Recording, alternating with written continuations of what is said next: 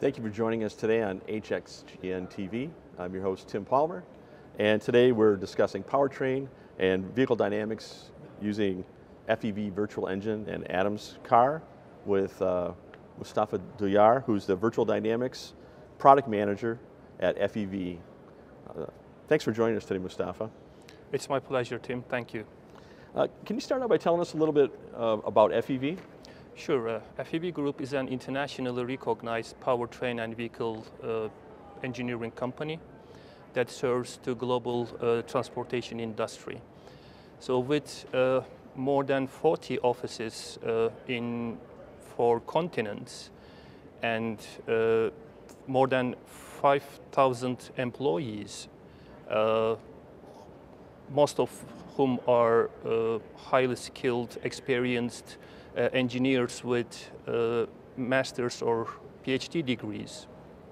We offer a broad range of engineering services uh, in automotive industry mostly for powertrain, transmission, vehicle, and driveline development. It's not limited to that. Uh, we also expanded our uh, capabilities uh, so that we also provide services for e-mobility, uh, telematics, infotainment systems, connected and autonomous vehicles. Uh, our uh, test software and testing solutions, also a global supplier of software, testing equipment, test benches, and, and, and also instruments. Okay. Can you, what, what, is, uh, what is Virtual Engine? Can you explain that to us? Uh, sure. Virtual Engine uh, is a software for uh, simulation-driven powertrain and driveline development. Uh, let me first start with the history of uh, Virtual Engine. So Virtual Engine used to be called Adams Engine. Uh, so the relation with MSC software uh, starts with that. So the initial development started back in 1990s with the tight collaboration between it was called MDI those days, Mechanical Dynamics Incorporated, and FEV, along with other Adams Engine uh, consortium members. So then MDI was, you know, acquired by MSC, so our relationship with MSC software started. Um, so the, the first version was, uh, Adams Engine was uh, released in 1998, and as the name implies, it was just for internal combustion engine simulation, including crank train, valve train, timing drive, accessory drive, piston and rings and bearings and so on.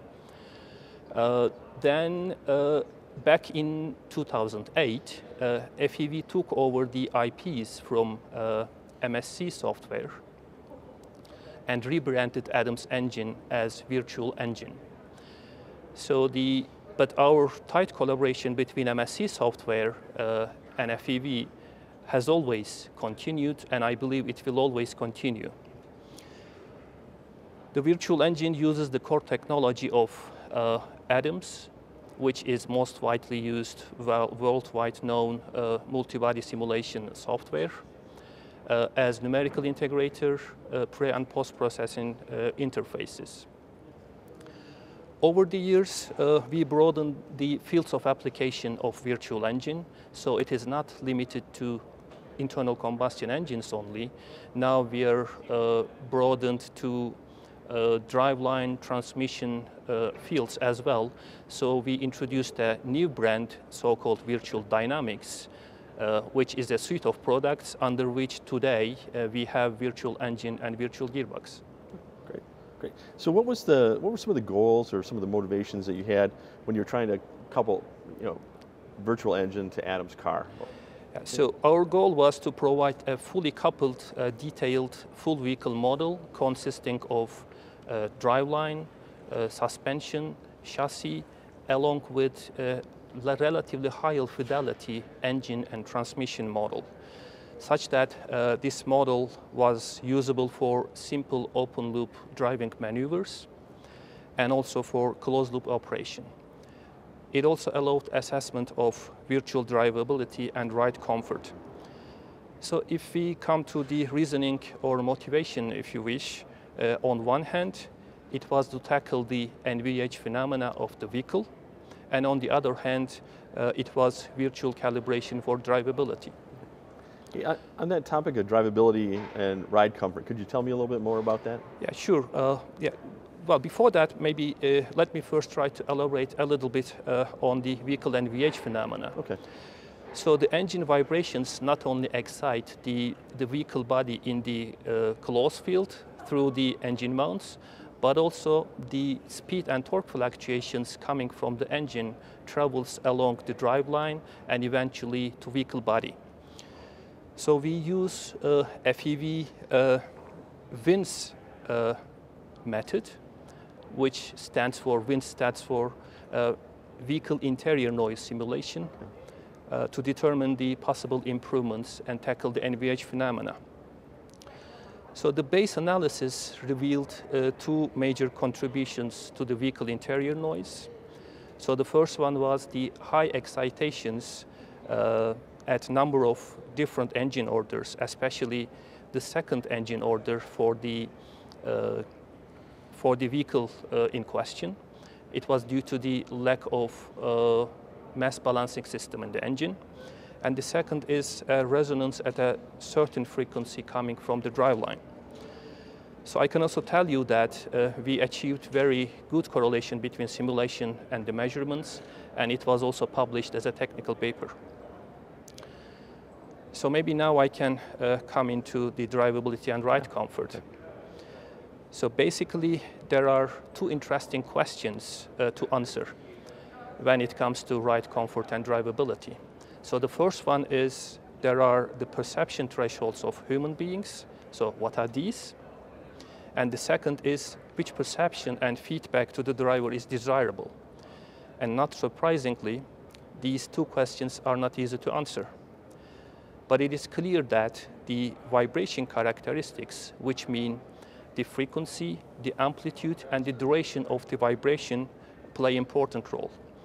Some of the investigations also uh, indicate that human perception is probably less sensitive to acceleration itself, but the rate of change of acceleration with respect to time, uh, it is also known as jerk. Sure, yeah.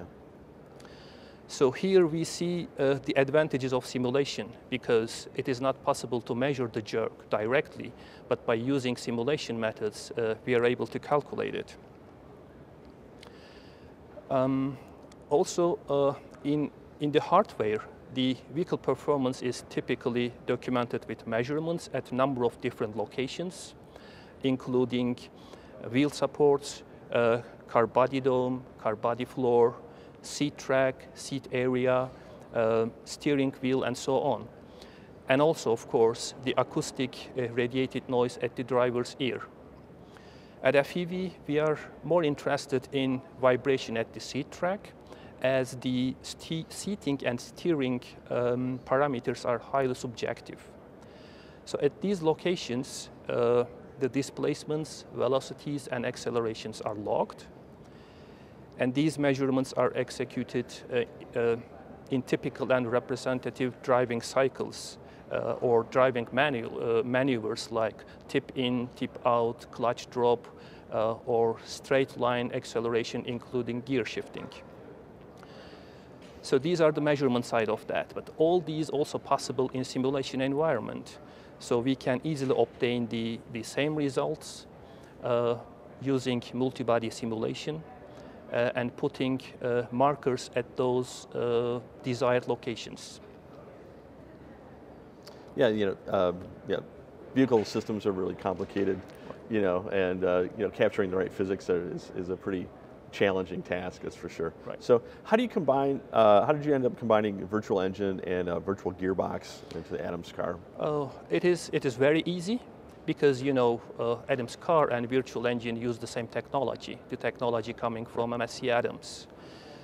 So the standard Adams car models do not include higher fidelity models of engine or transmission.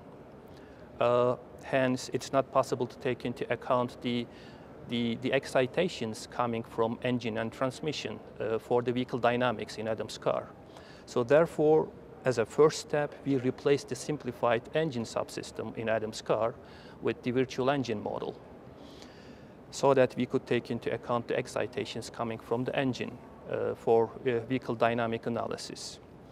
And this is done using a dedicated dialog box, which, is, uh, which becomes available if you uh, add virtual engine plugin in Adams car.